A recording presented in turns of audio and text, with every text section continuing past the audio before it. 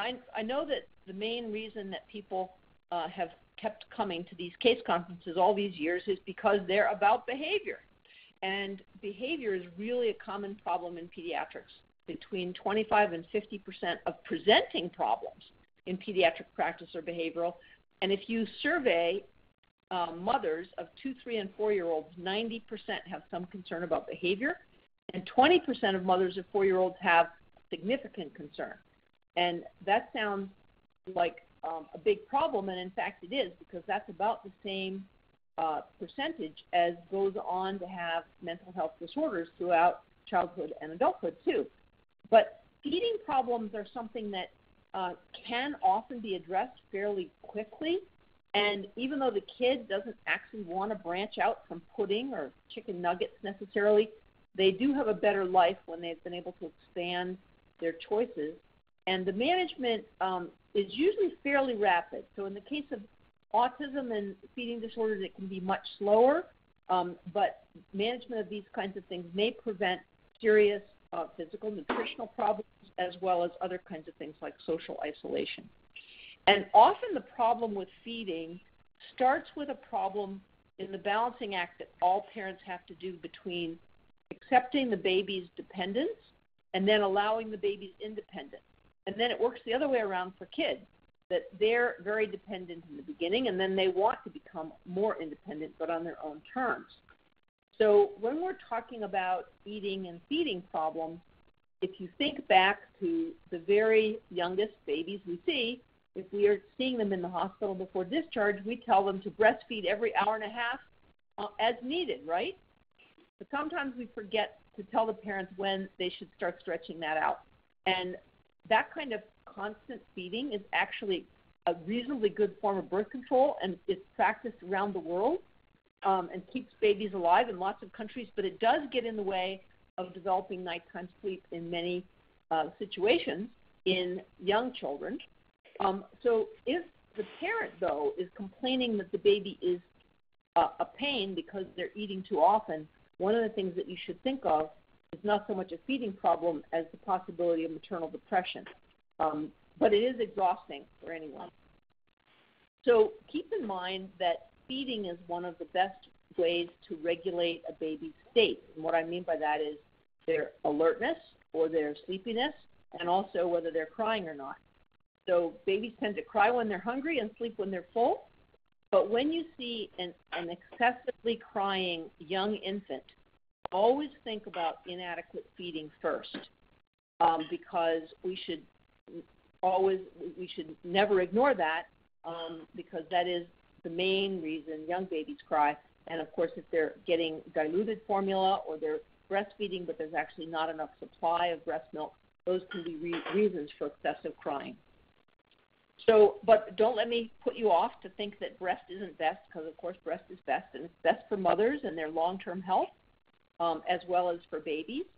But here's some other things about breastfeeding that you may not have thought about, and that is when the mother is breastfeeding, the baby is being exposed to flavors of the foods the mother eats.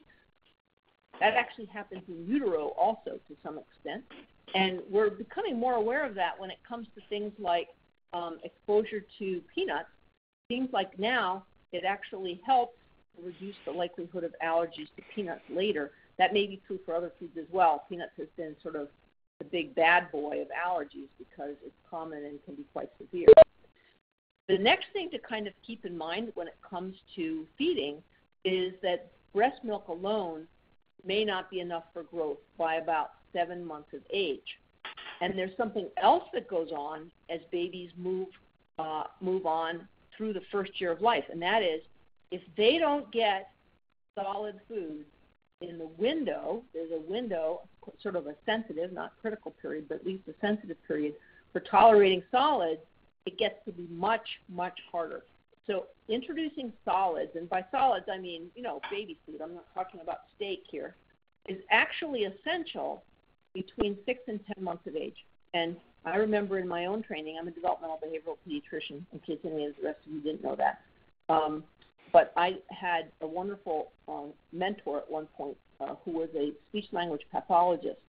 And he taught me a very important thing about feeding. And speech language pathologists are often experts on feeding problems, actually. Um, and that is that feeding is not inherently pleasurable to young babies. That they're basically having to choose between being hungry and being able to breathe. So it's a big coordination job for them to figure out how to get the food through the back of their mouth and down into their stomach without uh, not being able to breathe. So it's, it's kind of a struggle. And actually, you'll often hear parents talk about when they introduce solids or, or baby food that the baby would choke and sputter and spit it out, and the parent really felt mean trying to push forward on feeding. And so sometimes they give up. Sometimes they give up. And when they give up and they miss this window, then you have things like that 10 year old who is only eating pudding because the child has never learned how to tolerate um, food of greater consistency than that, even though it's not good nutrition. So, those are some things to know about. Now, it turns out that the preference for sweet, I'm sorry to tell you this, but the preference for sweet starts in utero. and how do we know that? Well, they injected high concentration uh, glucose into a pregnant woman's uterus, and what they saw was the baby would start gulping and swallowing really fast because they were enjoying the flavor. And if they stuck in quinine instead, quinine is very bitter, the babies would go and stick out their tongue. So even in utero, babies have taste preferences. But what happens throughout um, infancy is that babies start to learn to expect food at certain times, not constantly, not every hour, but at certain times and certain caloric densities of food as well. Um, and they learn which foods satisfy their uh, hunger the fastest. And this is a lesson that carries on throughout life, and that is when you're really hungry, you reach for that candy bar. In other words, things that are sweet, have fat, or high carbohydrate, because those things end up raising your blood sugar the fastest. So there's instant reinforcement, almost instant reinforcement from eating those things. To say nothing of the fact that they taste good, of course. And maybe the reason we're programmed to think they taste good is because they are so valuable at in terms of uh, getting some calories into our system. So the next thing that babies learn is how much to eat. So intrinsically, infants, if given a chance, will stop when they're full. And this is one of the reasons that breastfeeding is so good because the mother doesn't know how much they got, the baby seems satisfied and stops sucking, and there you are. It's all good. Whereas when you arbitrarily pull out a bottle, and heaven help us, if it's not a four ounce bottle, it's an eight ounce bottle, and the parent sort of fills it up to a certain line and then thinks that the baby will take it, the babies may struggle and spit up and have trouble with that. Um, at first, they will try to stop, but what happens is they get used to having a larger volume of food. So when in toddlerhood, um, babies, toddlers will, if it's something they like, basically eat whatever you give them. And then by preschool, the amount and the kinds of things that children eat is more determined by watching other children. So there's sort of a sequence in how internally motivated volumes of food are, which is kind of interesting. So one of the things that comes up immediately in our culture is that baby foods are commercially determined how much they are and how chunky they are, like how smooth versus chunky they are. So the amount of baby food in a jar is a total invention. And it's often true that parents feel like they should feed them down to the last drop in that jar of baby food, but in fact, that, that is not a gold standard of any kind at all. In fact, there's not even any magic to giving kids vegetables before you feed them fruits. Um, for babies who are just learning how to eat, fruits may actually be better because they are interesting, more they're sweeter, and they're more willing to suffer through figuring out how not to choke while they're taking it in order to get that nice taste. So, what can you do to make sure that children get introduced to a variety of textures in that first life? Well, the baby food companies try to do that for you by going stage one, stage two, like that. But there's other ways that parents can do it if the lumpiness in stage in the next stage of food is not well tolerated. They can do things like smash up fruit or cracker crumbs and put it into the smoother baby food in order to get to a more um, a more a larger amount of texture. Now, for the person who brought up the kids, the 10 year old with autism, that may be a good place to start. Now, I'm going to go past that, but this child is not tolerating a range of textures, right? And so, trying to get more texture into their diet may be the first thing that you need to do to be able to allow them to move from pudding to anything else. That's a very big problem. Whereas the six year old who's at least eating nuggets and fries, they've at least got a, t- a texture and something that has to be chewed. So they're ahead of that child, the other child that we just heard about. So it's really important to start increasing the lumpiness of food before 10 months of age to avoid these problems. Now, some other good tips for, uh, for feeding young children include um, feeding solids before feeding liquids at a meal. Okay, and the reason you want to feed solids before liquids at a meal is because uh, the liquids will fill them up and the solids are harder. So when they're hungry, they can giving them the solids when they're hungry uh, is uh, a way to make it more likely that they'll actually take the solids. Um, whereas if you let them have their bottle first, they're pretty much satisfied. They're not willing to go through the work that it takes to eat solids. And uh, another good rule of thumb that fits into this context of uh, increasing lumpiness from six to 10 months and thereafter is that you should be aiming for a baby to be using a cup and eating table food by 12 months of age. Now, people sometimes say, well, they don't have any teeth. Well, or they do have some teeth, but all they have is those decoration teeth up in the front. So anything that you can squash with your thumb, a baby can smash with their gums. And actually, if you ever stick your finger into the mouth of a 12 month old, you know full well that their gums are really strong and they can really smash stuff up. So that's a great way of, of telling parents, you know, what kind of texture should you be able to feed to a 12 month old by then. And the opposite is also true, and that is don't make it too easy by letting them carry a bottle around all day. And I think that the word has gotten out that we shouldn't be giving juice. In fact, probably it's better not to have any juice at all, but just to feed fruit instead of juice, um, because juice tastes so good that people will drink juice and it's easy, and they will prefer it to other things, and they will have all the complications of that extra sugar, including bigger swings in their blood sugar and um, rotting their teeth and getting obese and all that sort of thing. But milk bottles can have a, be a problem too because it's just too easy, especially if they're allowed to walk around with them. So, any comments about infant eating before we go on to toddler eating? Anybody have an infant example where they've got people have gotten stuck or relate to any of the things that I just said about babies in the first year of life?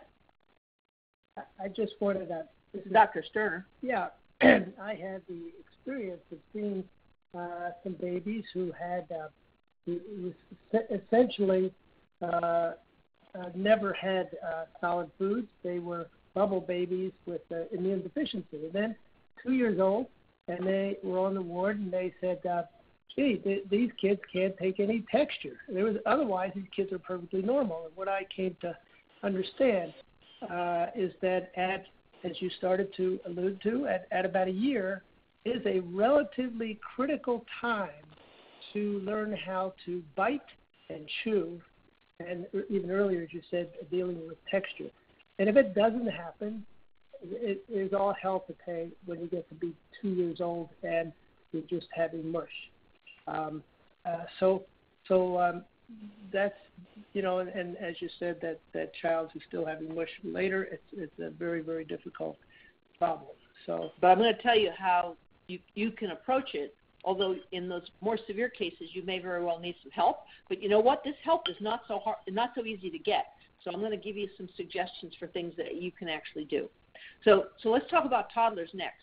So one of the things that happens when babies hit toddlerhood, which is after 12 months of age, sort of technically, and that is their growth actually slows down. So do you ever think about that growth curve and you show it to parents and the child is accelerating and accelerating and then around a year of age they actually start to slow down in their growth and they actually require fewer calories to grow than they did before.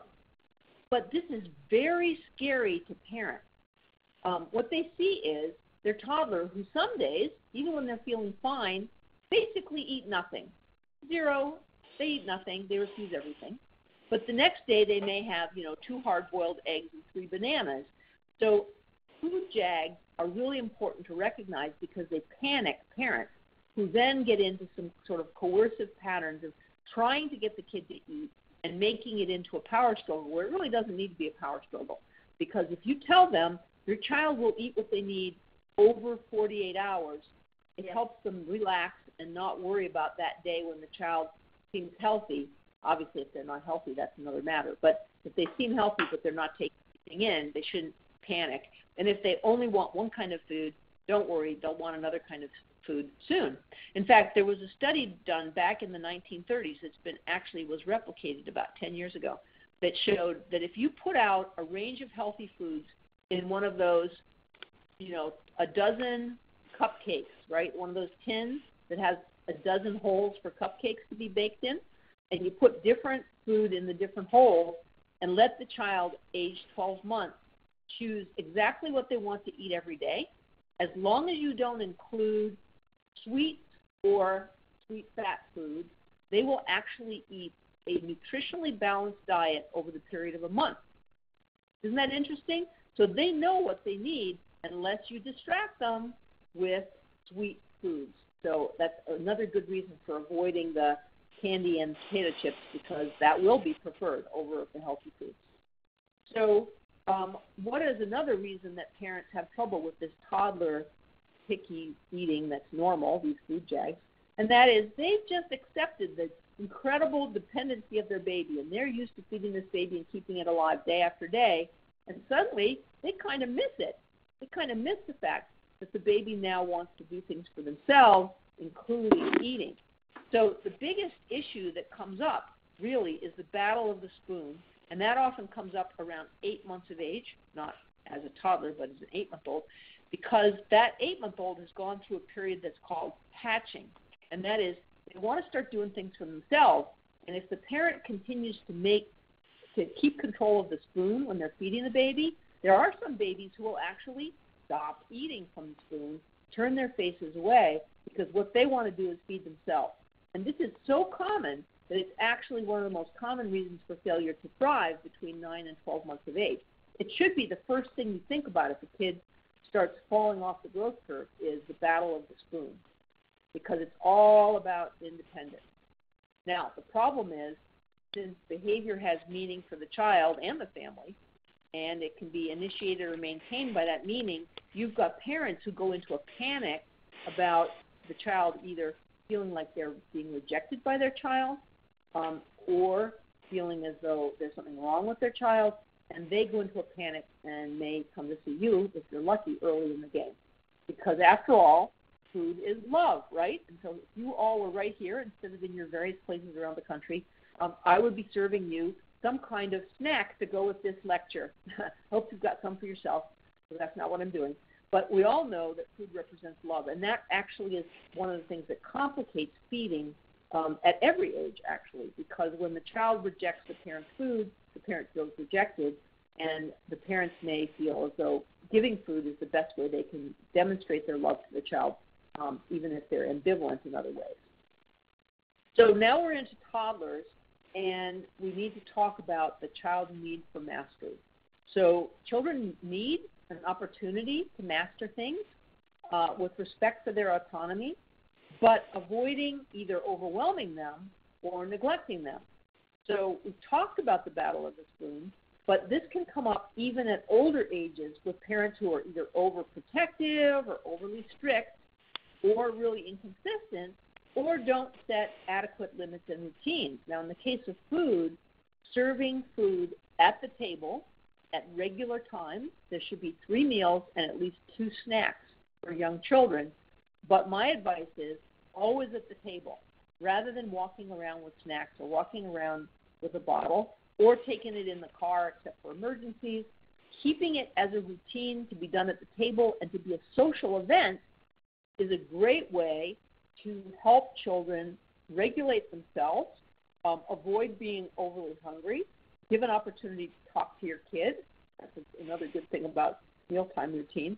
And actually, it reduces both the extreme food selectivity problems and um, it also helps um, uh, helps avo- avoid uh, children who feel angry at their parents. So, number one suggestion for toddler eating, and this actually extends right up into school age and actually right up into teenage. We'll say some more about that a little bit later.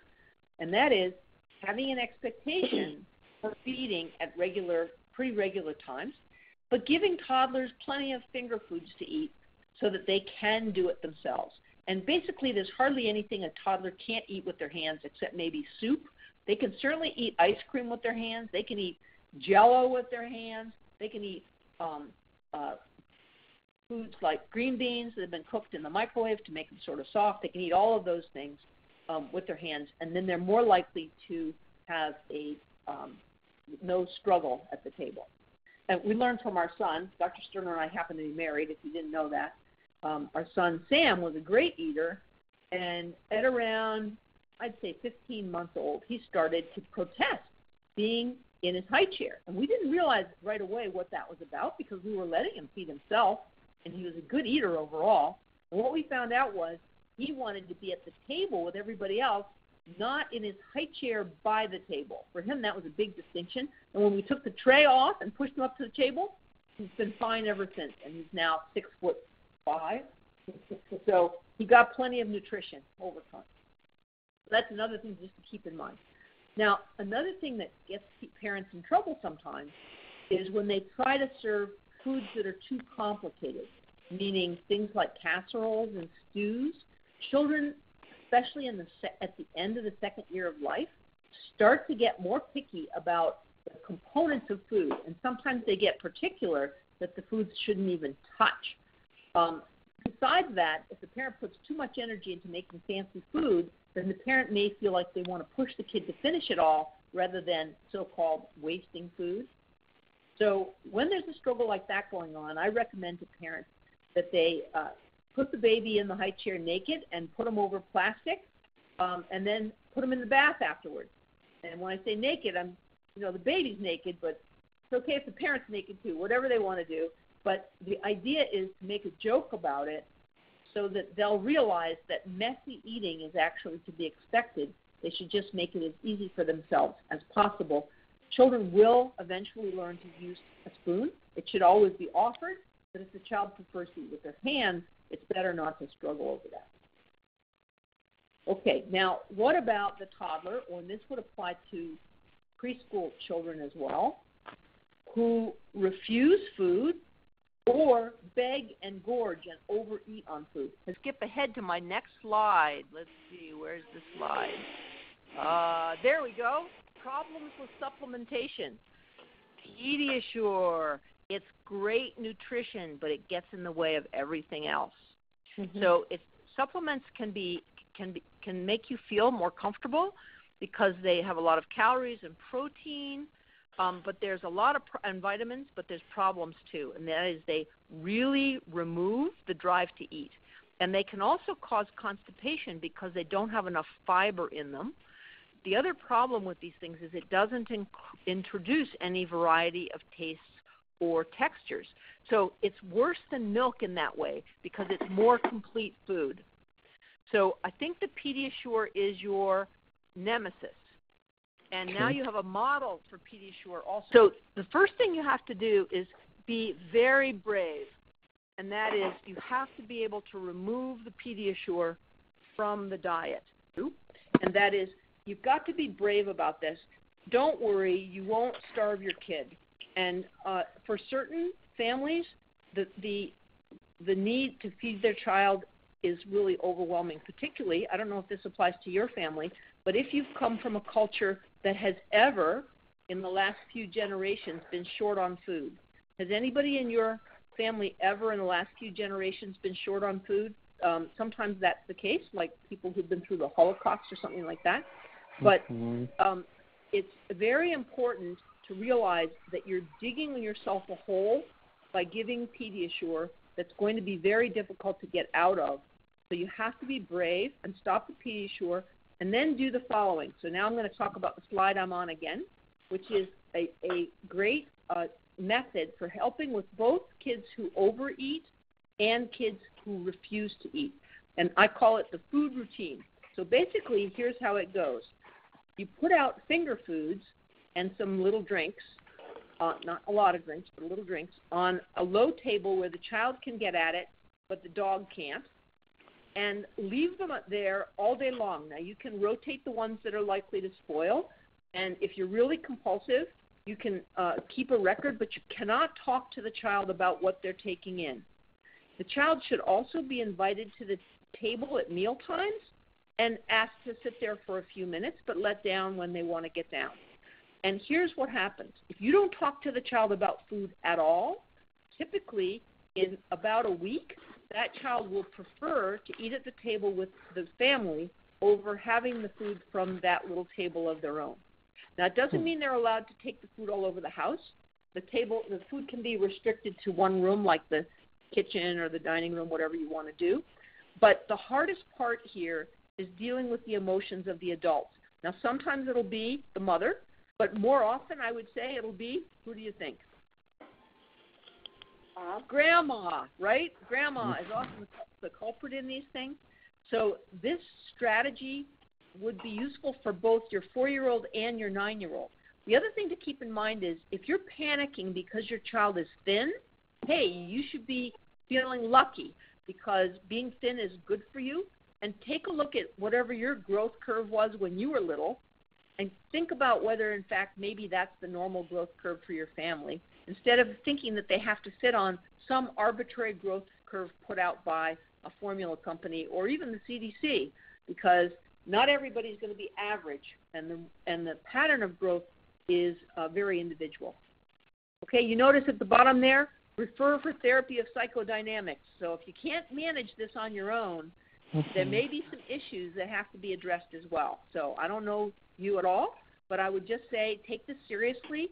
See if you can work on it together as a family and be brave. If I tell you three weeks, do you think your wife can do it? Yeah, she can. She can. Great. Three weeks, no Pediasure. Just a little table out there with food and invite the kids to the meals. So let's talk about picky eating next, because I think that's probably on the mind of a lot of people on this call. And there is a sort of typical picky eating uh, that that's a combination of temperament. Some kids are sort of more more likely to be hang back in any kind of change. It can come from a desire for autonomy, but it also comes from a, a cognitive awareness of differences. And this often presents around 21 months of age when children who have been eating everything under the sun before that suddenly start to refuse certain textures. They want certain ways of preparing the food the sandwiches have got to be cut on a certain angle or the crusts have to be removed or they want some ritual they have to have their certain spoon or their certain cup. And that's a, an almost a little phase of obsessive compulsive that fits in between 21 months and around three to four years old. It can be true uh, anytime during that period. But let's just talk a little bit about how uh, food preferences develop to start with.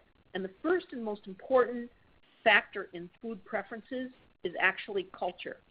So there are cultures where people drink blood and eat ants, and everybody does, and that's just the way it is.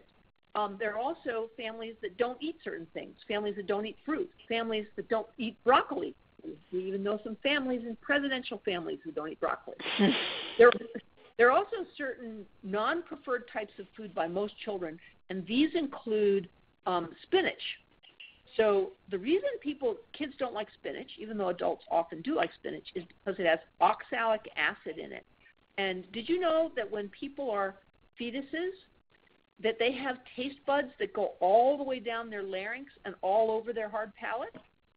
And then as you get older, those taste buds recede so that when you get to be an old gomer, you want to put Tabasco sauce on everything. But keeping in mind that children have more sensitivity to strong taste um, when they're little than they will later on. Now, another factor that makes a big difference in what foods people will eat are food models. So that's why Popeye Remember Popeye? What what did Popeye eat? Spinach. Spinach, right? Now, they thought they talked about Popeye as eating spinach because it made you strong. Actually, spinach doesn't make you strong, although it does have iron in it. But the reason they picked spinach was they were trying to convince kids to eat spinach. So if everybody wanted to be strong like Popeye, they would have a hero like Popeye showing that he likes to eat that. And that's where the milk mustache comes from. Now we put the milk mustache on what movie stars and stuff like that, uh, trying to convince people to drink milk. Um, even you may you, you may or may not know this, but a lot of people, as they even as they get out of infancy, in many cultures, can't digest milk anymore. They have lactose intolerance. So the milk industry is working really hard to make all the movie stars look like they love milk, even if it's not something that tastes that uh, fits very well with you. Um, now, another thing that influences what foods kids eat are food contingencies. Now, for a long time, um, I was talking about food contingencies of if you have to bribe a kid with to eat a food, if you have to bribe them with something good in order to eat the food, they figure out that that must be mean it's a bad food. But actually, it turns out that bribery works, and I'm going to get to that in just a minute, um, and actually increases food uh, variety if it's done in a certain way. But some of the things that really help children eat a variety of foods is the models of a pleasant meal time with social uh, attention and meal and interaction at meals, not fighting and not having the what on during meals. The television. So the television is interfering with good nutrition because it's not a social interaction. Um, and in fact, sometimes the things on television can be quite upsetting. So turning off the TV is really an important part of having effective uh, training for food variety and uh, healthy eating. But when you get right down to it, the, the most important thing, as it turns out, to increase food variety, which is the two kids that we've talked about so far, the nuggets and fries kid and the pudding kid, is they need repeated tasting. And this is actually the beginning of what I'm going to tell you about how to work on severe food selectivity, which both of those children have, one more than the other. So it turns out that repeatedly tasting even a tiny bit of a food will increase the variety eating eaten. Now, repeated looks are good, but it's not enough by itself. And there's a book that I'll tell you about, and it's in the references if I get down to the bottom of the slides, by a guy named Keith Williams. And he has written a terrific book. He's from Penn State, and this is a book that will help with that autistic kid in their eating and will help with that kid on the nuggets and fries as well. And you can recommend the book to parents um, as well as reading it yourself. But I'm going to give you the short form of his book, okay? Because I learned a lot of this stuff from him. So when they used modeling of, of people eating the food that the child doesn't like and praise and sticker rewards they were able to increase the variety of vegetables eaten with the rewards, and the child even reported liking the foods better. And that was when they used rewards and praise for eating a variety of foods. So there's some things that you can do to set kids up for success in increasing a variety of foods. So the first thing is this is for typically developing kids. So we're not into the severe cases yet, it, but it's good for the severe cases too. And that is First of all, three meals and probably three snacks, but only at the table. Then make sure that the undesired foods are also placed on the child's plate. So the child doesn't have to eat it, not in the beginning anyway, but they have to leave it on their plate. And if they push it off their plate, it gets served again or they're dismissed from the table. So it's a, we're training them to accept a new food on their plate. And then, how do you introduce some of these new foods? Well, start with ones that are similar to what the child already eats. So for the kid who eats uh, French fries, maybe French fried potatoes, maybe you can now serve French fried sweet potatoes or French fried green beans. So something that is similar to what they've already eaten. And then you can add microscopic amounts of the new food you want to introduce. And when I say microscopic, I'm talking about a dusting of molecules of the undesired food. And you say, how could that possibly work? Well, maybe homeopathy is right. It turns out that even a very tiny taste of the food will start to desensitize the child and make it more acceptable for them to take that food. Sometimes you can just change the brand. So instead of just McDonald's nuggets, uh, you can change to uh, Burger King nuggets or something else to try to give the variety that they need. Um, and you can then start sprinkling the undesired food on foods that are currently eating, eaten.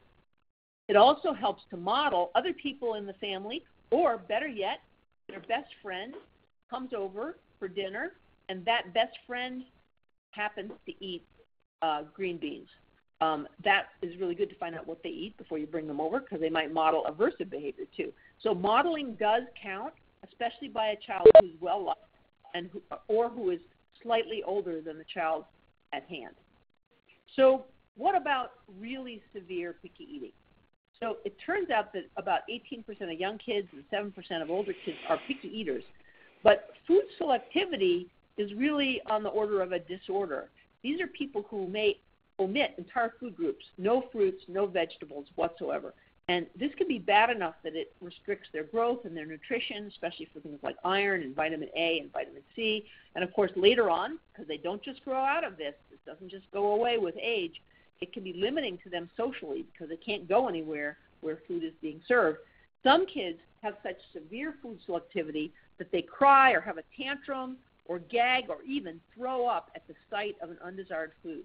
Now, keep in mind that somebody who has actually tasted a food and then vomited, that is one of the most severe uh, uh, aversive conditioning situations. And it actually makes sense, doesn't it? Because do you ever wonder how animals in the wild know what's poisonous and what isn't? How do they not eat poisonous plants? Well, what happens is they look at each other, and if somebody else eats a plant and then gags or spits it out, that's it for that plant. That the other people, uh, the other animals watching will never eat it again. So the same thing is true. And if you think about it for yourself, have you ever eaten a food and then you got sick? Maybe it wasn't because of the food, but you just happened to be about to get the flu. Could you ever eat that food again? Often not.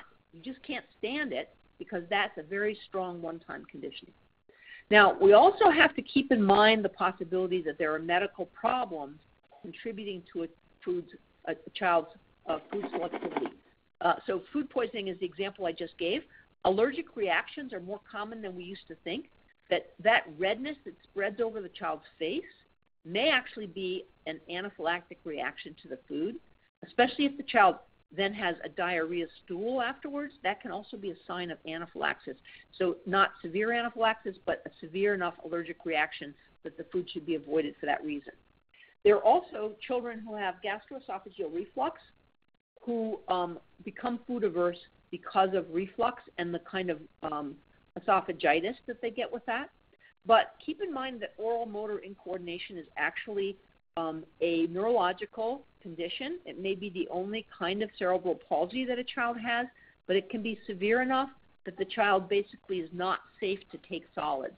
And that's where having a, a feeding evaluation often including something like a food, a barium food swallow um, with video fluoroscopy by a speech language pathologist who's an expert on this, or an occupational therapist. Some of them are trained in it too, to try to sort that out. So if you're hearing about choking and gagging on food after a year of age, that child may very well deserve more of a workup.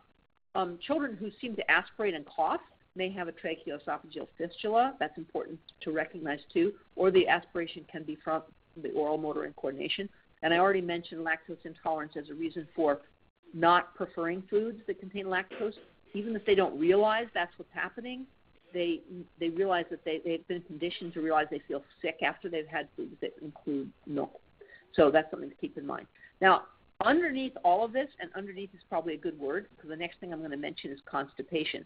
So being a food selective, a, a very selective eater can actually result in not getting enough fiber in the diet, and that can lead to constipation, and then constipation leads to cramping at meals and anorexia. So some of you probably have kids with ADHD who are constipated, and we compound it by giving them medications that reduce their appetite.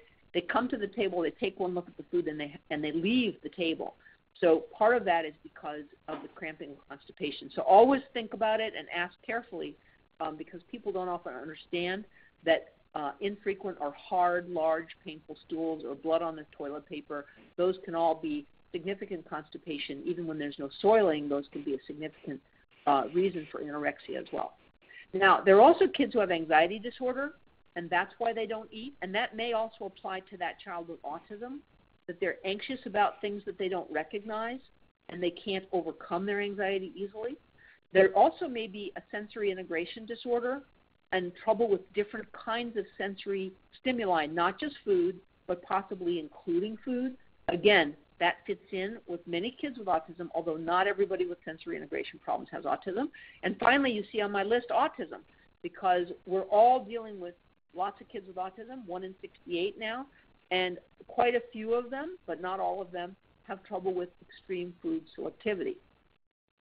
So, unfortunately, these problems tend to persist. The food variety that's eaten um, is actually higher at 27 months than it is at 60 months. And the food selectivity, the fruit selectivity at age two predicts to how it is at six to eight years old. 40% of irregular eaters at age five are still having trouble at age 14, and 28% of two to four year olds, they have food fads, but 16% of older kids, seven to nine year olds, have periods of refusing food. So these are not rare problems at all. So now I'm going to tell you about the thing that Keith Williams is doing at Penn State. And by the way, Penn State isn't very far, either for those people in New York or for those people in Baltimore for sure.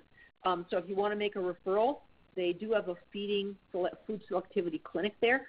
But this is basically what they do. And this is something that you can recommend to parents at home. They should have two plates. On one plate, they put pea sized pieces of the new food that the child has not been accepting, or even grain of rice sized pieces of that food. And then on the other plot plate, they put bite sized pieces of foods the child likes, plus they have a little bit of drink available. And here's what they do at the table for 10 minutes, they require a, a taste of A before they can have a bite of B plus a small drink. And if they eat nothing at all, it's okay. You don't criticize them or punish them for that, but they don't get anything else until the next meal, keeping in mind that we're going to do this three meals and three snacks a day. An alternative would be they take one little bite, a grain of rice or grain the size of a pea of the undesired food per meal or even per day in order to gradually get used to the undesired foods. Now, in the case of something that's a liquid, like when you're trying to get a kid to go from breast milk to uh, whole milk, um, fading them in by mixing the milks together uh, really works well, and we all sort of know that. But the same thing can apply to tastes, so that you can mix tastes in a liquid as well. So that is the basic recipe for getting over this extreme food selectivity. Now, you have to have parents with buy in for this. They've got to be brave, they've got to be confident, and just say, okay, if you don't want to eat any, that's okay, you're down. You're down from the table, and uh, we'll see you again at the next meal. And they have to do it without getting angry, shouting, or forcing the child to eat in order for this to work.